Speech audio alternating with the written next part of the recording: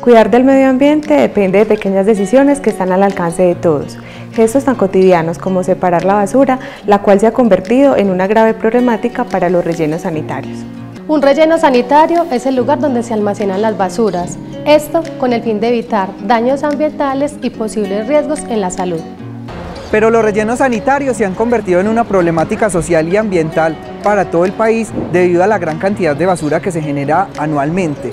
De allí la importancia de reciclar, que es el proceso de separar la basura correctamente.